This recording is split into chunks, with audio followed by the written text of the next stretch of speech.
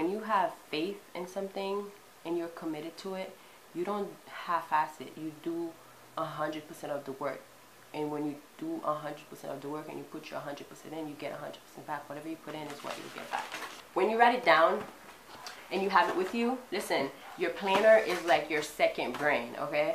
Your planner and your to-do list little book is your second brain. Because when once that brain is freaking out, this brain will be like, listen, I've got you, okay? I've got you.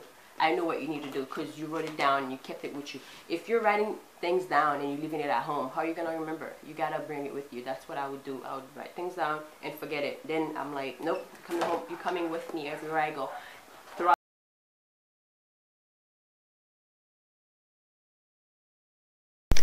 Hey guys, if you guys see me looking down in, in this video, I'm just reading my notes. I wrote a lot of information and I wanted to include everything in the video. I didn't want to forget anything. So if you guys see me looking down, that's why. Um, have a classmate's phone number. Someone who has the same work ethic as you and will, you guys can meet up um, sometimes in the library so you guys could study together if that works for you. Um, um, have a planner, okay? Let me show you guys something. I will have a planner no matter what stage I'm in life because it helps me organize myself, helps me keep, um, you know, keep my life organized. And also, I'll also have like a separate little book because sometimes my planner I write down so many things that I have to do, so many things that I need to get done. I'd also have like this separate little book. I'll put it in my planner because I'll have like my to-do list. I have like a whole bunch of crap in there that I wrote for yesterday. Yeah. Ooh. I have two things that I didn't do, but I, I need to get it done today. So, yeah. When you write it down and you have it with you, listen, your planner is like your second brain, okay? Your planner and your to-do list little book is your second brain because when once that brain is freaking out, this brain will be like, listen, I've got you, okay? I've got you. I know what you need to do because you wrote it down and you kept it with you. If you're writing things down and you're leaving it at home, how are you going to remember? You got to bring it with you. That's what I would do. I would write things down and forget it. Then I'm like, nope, coming home. You're coming with me everywhere I go. Throughout the day, I would check off my to-do list. You know, that would also make me feel like some, I would feel some sort of accomplishment by doing so and I'll be encouraged to do more because I'm like, ooh, I'm getting things done. Let me get everything done. So yeah. Another thing I wanted to say, before the exams, okay, I would go to the site an hour or two, sometimes three hours before, and I would just sit there. Because sometimes when I'm just like rushing, oh my god, I have an exam, I'm just rushing, running to class, I'm like so stressed out and overwhelmed, and that doesn't help me. Um, but when I go there ahead of time and I sit there, I'm like relaxed, and then I review for the exam, then I'm like on a much better place. Um, be relaxed, don't run late, so you'll start freaking out.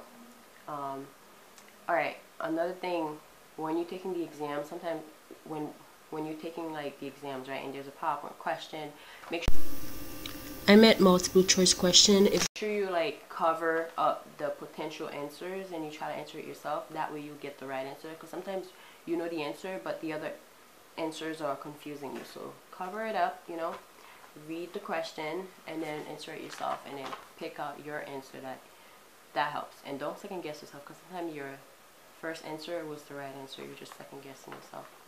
Study when it's best for you. If you're a morning person, study in the morning. If you're a night owl, study at night. Study the most difficult course at night. Throughout the day, try to implement other ways that you can incorporate studying. Excuse me. Take notes and write it into your own words. Review the material before class. Okay, so you can be prepared you're not just jumping into class and not knowing what the teacher's talking about. You got to be prepared before class. Okay? Do all of your homework assignments. Okay? Because sometimes the homework assignments, there are test questions that are taken out of the homework assignment. So you, you got to do all your homework assignments. Um, do a meetup before exams between classmates if that works for you. Okay? Meet up with your classmates if that works for you. Um, and yeah, like I was saying, make a, make a routine of going to library um, or anywhere else you prefer to study. If it's a classroom, I would say just don't go home because there's a lot of distractions at home.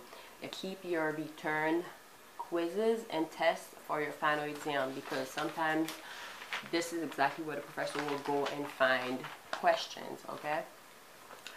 Like I was saying, stay organized. Write it down in your planner. Write things down that you have to do in your planner. What is due when. Have a to-do list daily, right? Keep it all with you so that you make sure you get all these things done. You're not always going to have it together, okay? You just have to keep pushing forward, keep grinding, keep fighting. And the only thing, the only time you have to look back is to see how far you've come, okay? Don't look back. Don't go. You're not going to go back there. It's not an option. Just keep pushing. And I would also say be 100% committed and have faith.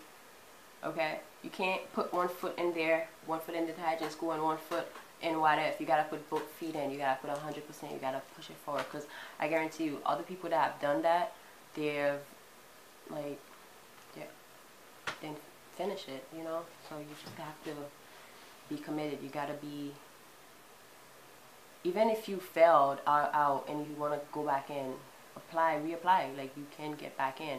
I mean, you've made it in anyway. You learn from your mistake and just keep going. When you have faith in something and you're committed to it, you don't half-ass it. You do hundred percent of the work.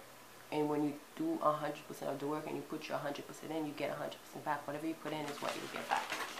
Don't take criticisms from people you don't want to be like okay? It goes to show you how other people will tell you things because even if you know they are your loved ones and stuff um if you don't want to develop their habits or be like them i would say don't take criticism from them because why are you critiquing why are you taking criticism criticism from somebody you, that doesn't aspire you or who you want to be like? Some people all, some people always have something negative to say. Maybe they don't their intention is not to put you down but it gets that way based on their tone.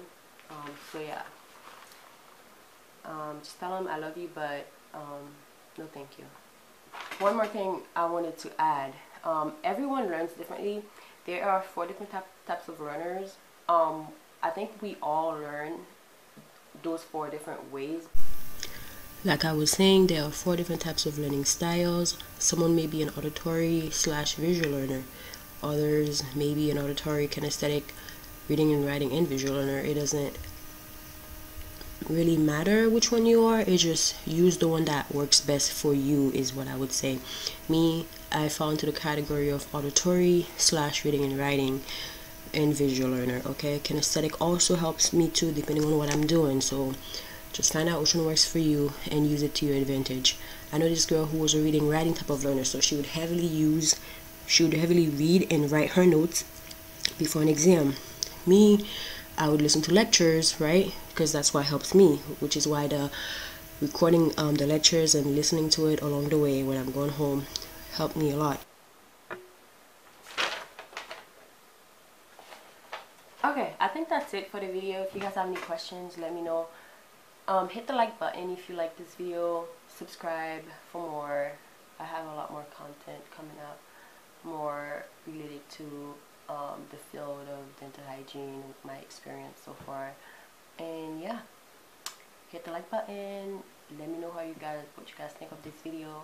And I don't think I'm gonna do my makeup all the time because it's really exhausting. like it takes a lot of work for me to do just this. This could be simple for, for some of you guys, but I'm in my 20s. I never really cared about makeup. I never really had time to do makeup to be honest. And now I'm learning and it's exhausting. An exhausting process. So yeah. Um I think that's all.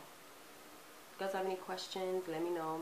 I'll be glad to make another video. I'm gonna try to come up here more often. You guys will see that. I'm gonna make another video now, okay? Because I have another thing that I want another topic I want to talk about. So yeah. I'll see you guys in my next video. When you have faith in something and you're committed to it, you don't half-ass it. You do 100% of the work. And when you do 100% of the work and you put your 100% in, you get 100% back. Whatever you put in is what you get back.